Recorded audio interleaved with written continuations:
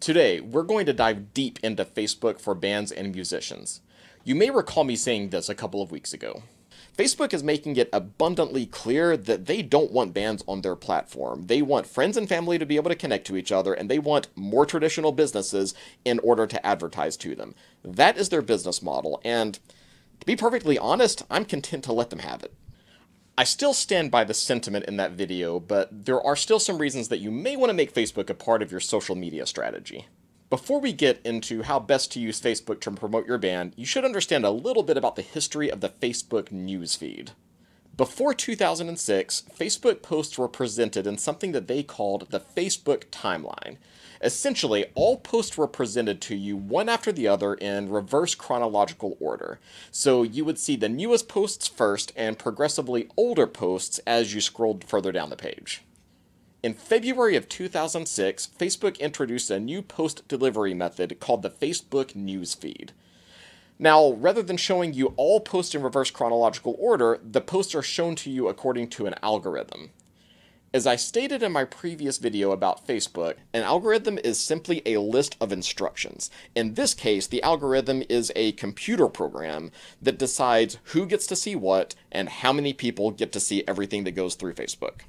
The algorithm tries to do this according to which posts it thinks you most want to see, but that's actually a gross oversimplification of how the algorithm works, but we'll get deeper into that in a minute or two.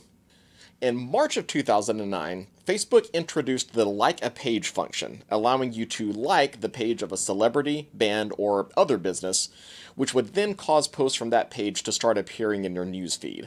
This was a very important change as it paved the way for targeted advertising. In January of 2012, Facebook introduced the ability for pages to put advertisements directly into your newsfeed. So now, all of those pages that you liked, as well as similar pages, will appear in your feed alongside posts from your friends and family. Not so coincidentally, in March of that same year, Facebook became a publicly traded company on the New York Stock Exchange. Before going public, Facebook as a company was mostly concerned with user growth, that is, attracting as many users as possible to the platform. Now that they are a publicly traded company, they're primarily concerned with generating revenue. The more money they make, the more money their shareholders make. If the company loses money, the shares drop in value, which will cause the shareholders to sell their stake in the company. If enough shareholders sell enough shares in a short enough amount of time, the company will be devalued even further. And that brings us to the finer points of the newsfeed algorithm. The Facebook newsfeed algorithm serves one purpose and one purpose only to keep your eyes on Facebook for as long as possible. The longer your eyes are on Facebook, the more advertisements you see, and the more money Facebook makes, which keeps the shareholders happy. Keep that in mind as we go forward. Facebook wants you to keep eyes on Facebook for as long as possible. If you can make posts that keep people on Facebook, the algorithm will favor you by making sure that more people see your posts. That being said, no one outside of a select few Facebook employees really know exactly how the uh, how the newsfeed algorithm works.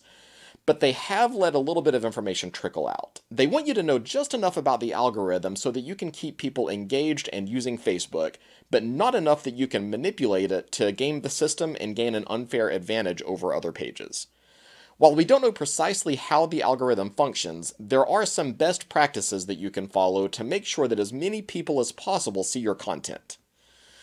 First of all, the holy grail of Facebook pages is something that we call organic growth. Anytime someone likes your page or a post, makes a comment, shares a post without you paying for it, we call that organic. You want to maximize your organic growth as much as you can. The first way to do that is to set up your page for success. Be sure that you set up your band or musician page as a business, not as a personal page. Setting up as a business page allows you to have an unlimited number of followers, whereas a personal page is limited to 5,000 friends only. Also, you'll have access to Facebook Analytics, which gives you hard data that you can use to track your page growth over time, as well as the effectiveness of individual posts. You'll also have the option of boosting posts, which is essentially just paid advertising, but we'll get to that a little bit later. You should also choose appropriate pictures, especially when it comes to your profile and cover images. This one seems like a no-brainer, but you'd be surprised at the number of people that mess this part up. The tricky part about this is that different social networks require different image sizes and resolutions. Thankfully, there are options that make this easy. The one that I use is a website called Canva. Canva is a free resource, though there is a paid option, that allows you to create social media images or videos. They have templates available for a wide variety of different formatting options available, which takes most of the difficulty out of choosing the right dimensions for your photos.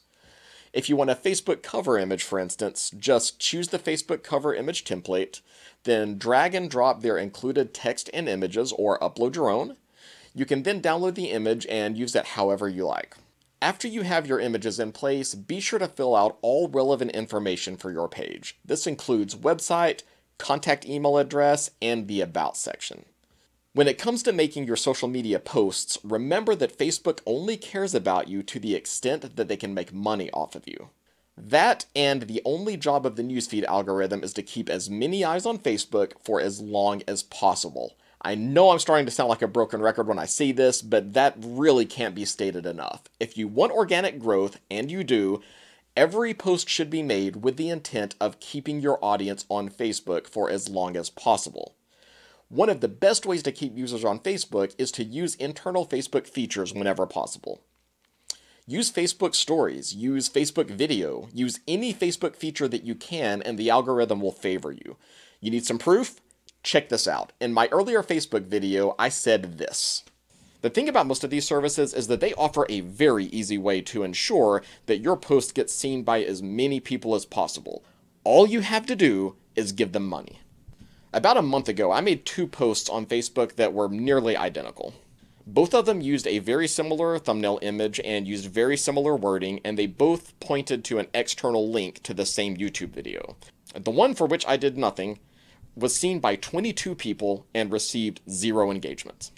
The post with $10 of advertising behind it was seen by 445 people and received 9 engagements. As I was analyzing some of my past videos, I found something else that was very interesting. I had several other videos that weren't boosted. They also used Facebook videos instead of linking to YouTube. Now, which group of posts do you think kept more eyes on Facebook for longer? The posts that linked to YouTube or the posts that use Facebook videos?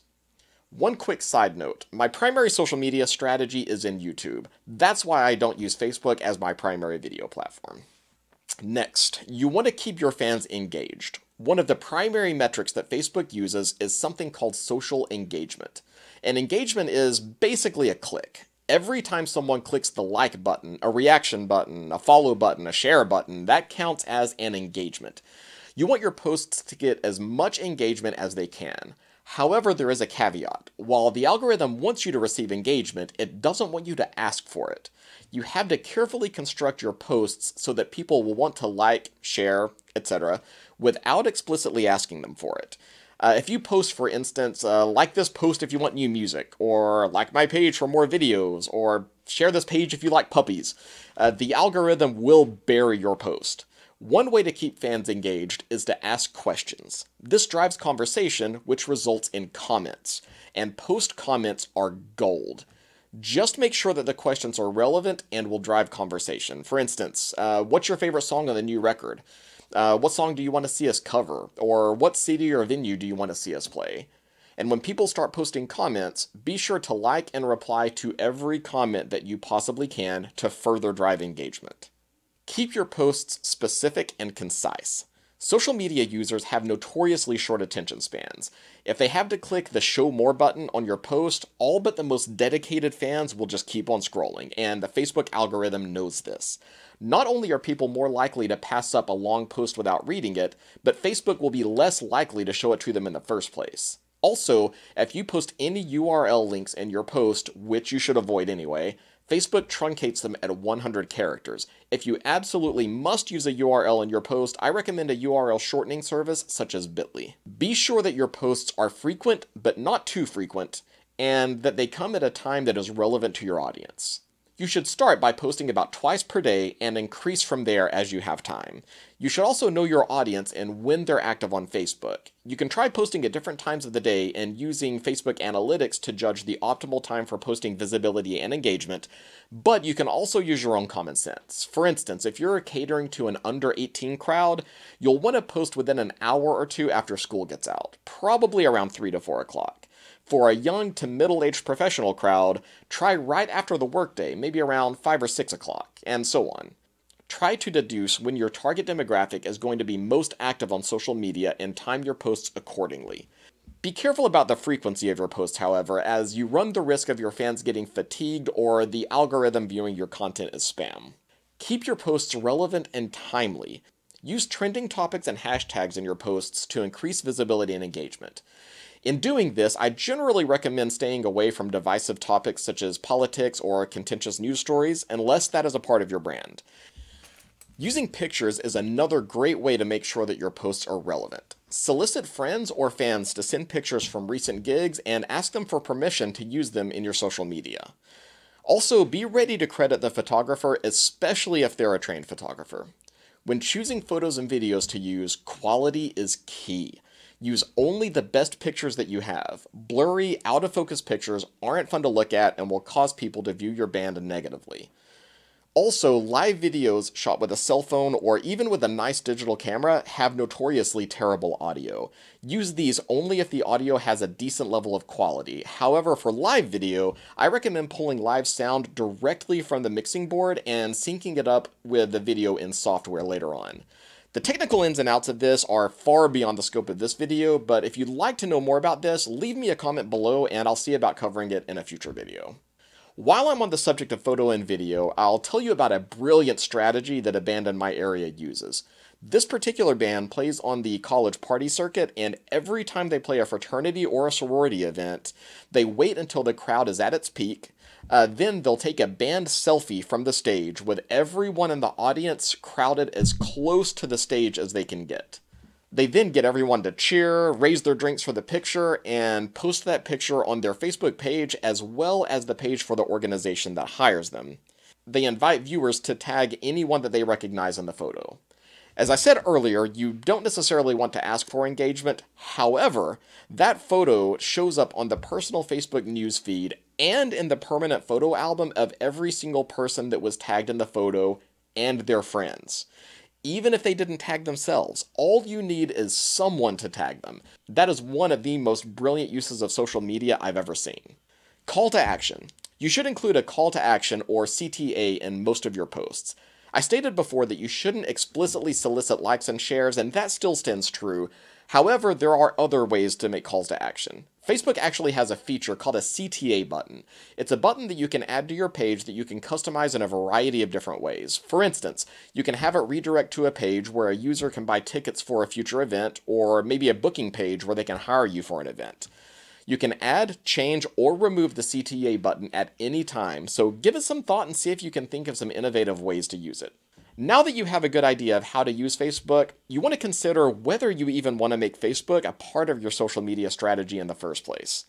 I said in my previous video that Facebook seems to not want musicians on their platform, so I was content to not even use it.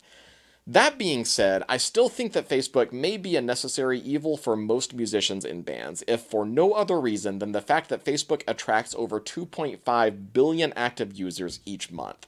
I mean, everyone uses Facebook. However, that is kind of a double edged sword. Because there are so many people on Facebook, it's really hard to cut through the noise and stand apart from the crowd. Attaining organic growth gets harder the more people and especially the more businesses that start Facebook accounts. It takes a whole lot of work to maintain a visible presence on Facebook, and you may decide that it isn't worth the effort. In my opinion, if your target crowd is the 25 and up bar going crowd, Facebook should probably be a part of your social media strategy. For that 18 to 25 year old crowd, the lines start to blur a little bit. You should still try Facebook, but you also might want to focus on Snapchat, Instagram, and maybe even TikTok, if it hasn't been banned yet. For the under 18 crowd, Facebook probably isn't a viable option. One final thing that I'll discuss is the use of paid promotions or advertising. As stated many times, organic growth is what you want to strive for. However, if you want to get in front of as many eyes as possible, you're probably going to have to pay some money to Facebook eventually. If you decide to go this route, it has to be a long term strategy, not just a one time thing. Set aside a regular budget, preferably around $50 per month, that you will use for advertising. Take the post or posts that have received the most organic engagement and boost them with your advertising budget. The idea is to take the best performing posts and boost the signal so they'll perform even better. You don't want to put money behind a post that's receiving poor engagement because it will continue to receive poor engagement. The only difference is that it will receive poor engagement from more people. The last thing that you need to do is be sure to subscribe to my channel and hit the like button on this video because I have lots more great content like this on the way. I put a ton of time and research into these videos so you don't have to. So if you want more ways to support me, check in the description below where I've also linked to some resources that will help you in your social media strategy. Thanks for watching and I'll see you in the next one.